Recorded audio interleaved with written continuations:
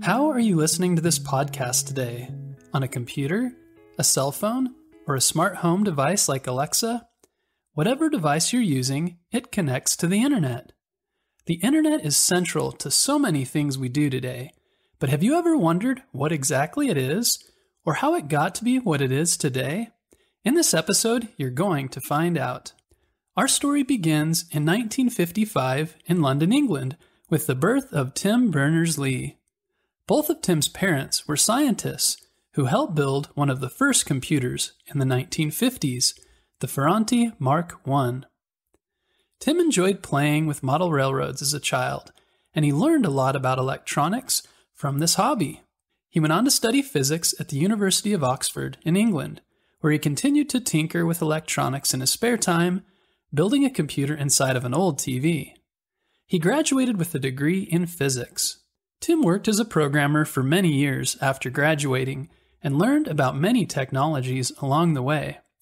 Eventually, he got a job working at CERN, a European nuclear research agency. At CERN, Tim's first job was to help people communicate over computer networks and use data stored on them in order to do their jobs. But Tim was frustrated to find that all these computers worked in different ways, so it was difficult to get them to talk to one another. Tim wanted to make it easier for people to communicate and work together using these computer networks.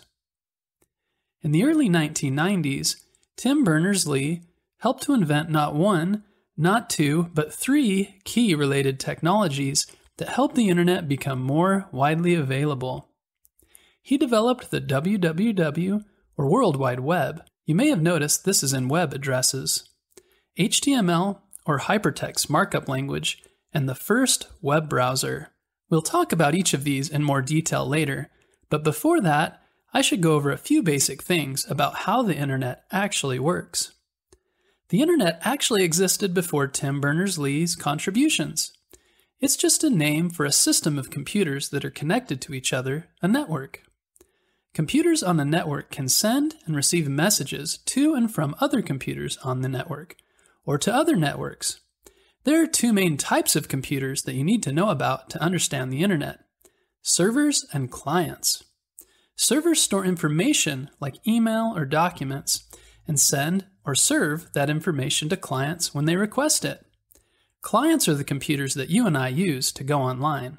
The details of this can get a little confusing, but Tim Berners Lee himself actually has a good way of describing the process. He compares it to a mail system. Say you drop a letter in the mailbox. Your letter is like the information you're sending over the internet. The workers in the post office, similar to the server, look at the address on the letter and decide where to send it next. That letter might go through a half dozen or more post offices on its way to your house, getting a little closer to you with each one. Eventually, the mail carrier drops it in your mailbox, which is like the client computer. Unlike with paper mail, all this happens in the blink of an eye on the internet, although in the early days it could take a bit longer. Actually, in the early days of the internet, there were no web pages at all. The internet was mostly used as a tool for scientists to communicate with each other, and it was all text based. No photographs, videos, or music. There were various computer networks in the early days. One of the first was called ARPANET, and it was created by the United States government. It had just four computers on it at first, all of them at universities or government research facilities. These researchers use very basic tools like FTP or File Transfer Protocol to share documents or simple email systems. Internet access expanded to the general public in the 1980s but it was still far from the internet we know today. There were no viral TikTok dances, cat memes, or Wikipedia. It was still used as a communication tool for people with technical knowledge. The systems they used were mostly text based, meaning they had no graphics. But Tim Berners Lee and his three inventions would change everything. The early 1990s were a turning point in the development of the internet, the time when the web really began to look like something that we know today. Tim developed the first invention with his colleague at CERN, Robert Cailliau. The World Wide Web, or WWW, is the system used by servers. those computers where your websites are stored to find documents on the internet. What I'm calling a document in this case might be a web page, a photo, or a music or video file. In the WWW system, every document on the web has a URL, or a Universal Resource Locator. That may sound like fancy technobabble, but I'm sure you've seen one. It's a web address like www.bedtimehistorystories.com. These addresses can be used by anyone with a link to the page on the internet, and they're usually pretty easy to remember.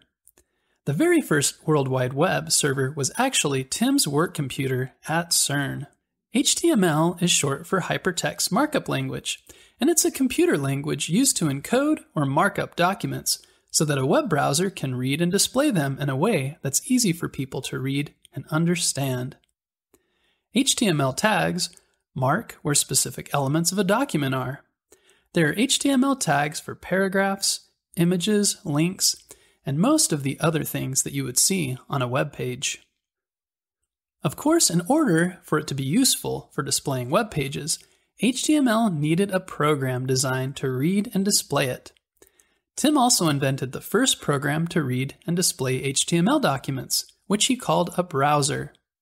Today there are dozens of browsers like Chrome, Edge, and Safari, but the first one was called World Wide Web.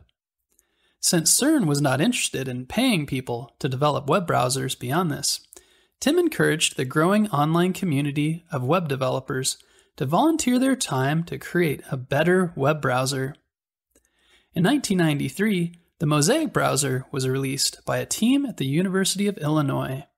Since then, this model of using volunteers from across the world has helped create many important web technologies and products. Finally, the managers at CERN made a decision that turned out to be very important for the future of the web they decided to make Tim's inventions open standards, meaning anyone could use them. This meant that people around the world could set up their own web servers and create pages using HTML, and they could link to any other web page on the internet. Likewise, anyone in the world who had a computer and an internet connection could use a web browser to view those pages. You didn't have to be a computer scientist or an academic or even know what a server is. As a result, today there are almost 2 billion websites on the internet, and almost 5 billion internet users. Around 7 billion Google searches are performed every day, and there are around 7 billion YouTube videos viewed per day, and thousands of podcasts you can listen to at any time.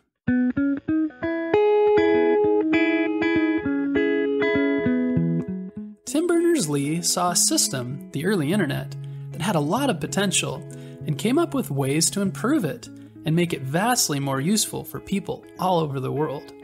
He's won many awards for his achievements, and he was knighted by the Queen of England in 2013 and won a prestigious computing prize called the Turing Award. He was the key force behind the modern internet, but he also made sure that anyone with the right skills could improve the systems he developed, which is what allowed the World Wide Web to explode in popularity and accessibility. He's continued to work throughout his life to keep the internet a free and open system that anyone can access. Tim is a great example of someone who is curious and used his skills to design things that would be useful to other people. He liked to tinker, which means to try out new things and play around with them until they become a useful invention. And when he did design something that was useful, he didn't keep it to himself. He found a way that people all over the world could benefit from it. Considering others is important to do in all of our actions. We hope you enjoyed this episode about the invention of the internet and Tim Berners Lee, and be sure to tune in next Monday for a new episode.